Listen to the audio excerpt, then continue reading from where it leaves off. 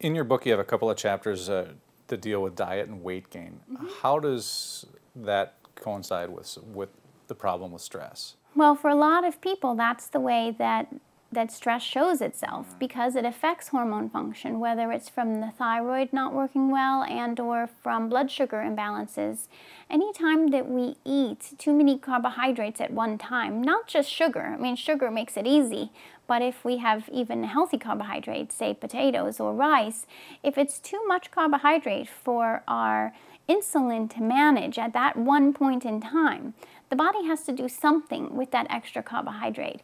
What it tends to do is either put it in fat storage around our waist or in fat storage in the liver. Either one is only going to create more stress and inflammation for the body. So this is how I look at, you know, the stress of eating where, and especially when we are stressed, we tend to choose high carbohydrate mm-hmm. foods. So we're again perpetuating the pattern. So preparing yourself ahead of time, maybe have always have healthy snacks in your car, in your desk, in your refrigerator. Things like almonds, walnuts, cashews, because they have healthy protein and fats, but they're not going to be uh, this high carb. It's just going to keep your blood sugar balanced so that you can get through the next couple hours.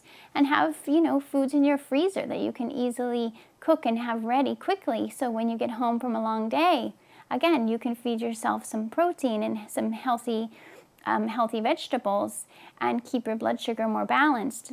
It's amazing how blood sugar imbalance is a major stress that sometimes we don't realize is happening.